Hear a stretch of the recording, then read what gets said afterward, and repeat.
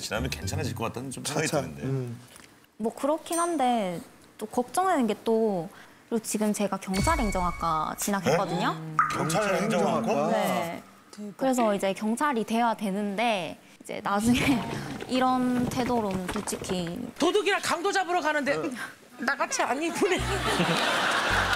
저 도둑 앞에 나설 수가 없어. 왜요? 왜요? 나 못생겨서요. 승무원이 되고 싶다면서 경찰 행정학과를 들어갔어요? 항공과를 가려면 또 면접이 가장 중요한데 면접 보죠.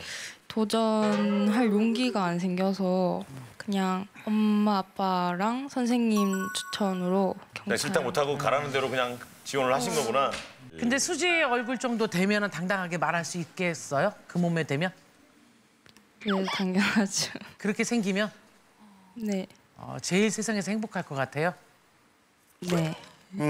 너무 무서운 게 우리 옛날에 우리 때는 그 메이커 신발이 유행할 때였어요. 쟤 사람을 보고 됨됨이를 보는 게 아니라 응, 쟤 저번에 응, 어 야 저 짝퉁이야. 네, 맞아요. 본인이 너무 기준이 딱 있어서 뭐 그 기준에 벗어난 사람은 좀 우습게 알까 봐.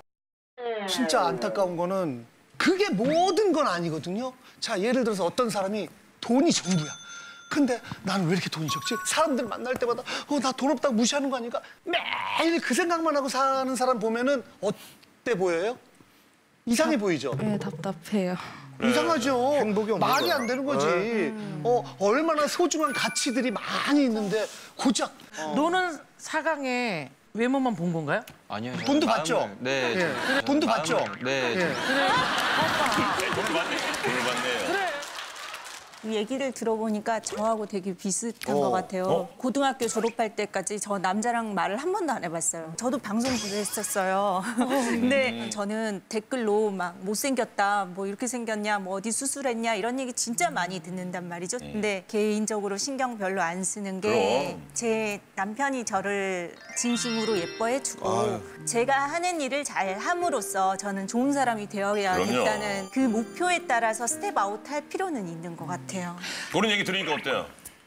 어, 조금 용기가 생기는 것 같아요. 그럼 속으로 지금 나도 그럼 나중에 11살 연하를 어, 목표를 크게 잡으셨는데. 잘해줘야지, 2학년들한테. 2학년 진짜로 처음에 보자마자 어우 정말 매력적이다. 근데 말을 계속 하다 보니까 그것만 생각한 걸 알고 나서는 덜 매력적으로 비춰져요. 솔직하게. 지금 외모는 완벽해.